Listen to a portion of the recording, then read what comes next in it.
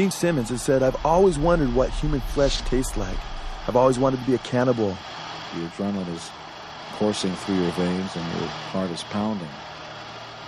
So the sounds that come out of the bass would be the sound I hear in my head of the feelings pent up inside of me. Simmons would not only like to be a cannibal, but he'd like to be God. He said, if God is such hot stuff, then why is he afraid to have others gods before him? I always wanted to be God. There's nothing higher than God. Satanist Thomas Thorne of the band The Electric Hellfire Club credits Kiss as their chief inspiration. Kiss was rebellion incarnate, and we identified with that in the same way we would later align ourselves with Lucifer and his rebellion against God. Gene Simmons echoes Aleister Crowley's satanic doctrine, do what thou wilt, when he says to his fans, people are going to tell you, you can't do this, you can't do that. They can all go blank themselves. You don't need them around. That includes your parents. Get rid of those leeches. Peter Criss of Kiss says, I find myself evil. I believe in the devil as much as God. You can use either one to get things done.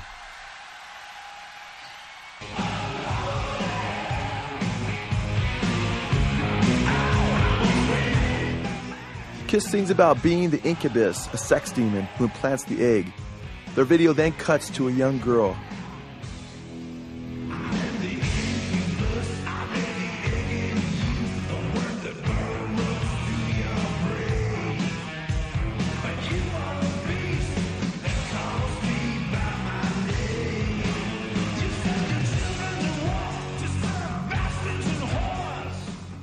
Kiss sings about being the Lord of the Flies, a name for Satan, the left hand of power, a term used for Satanism, and the father of lies, a description Jesus made of Satan in John 8:44.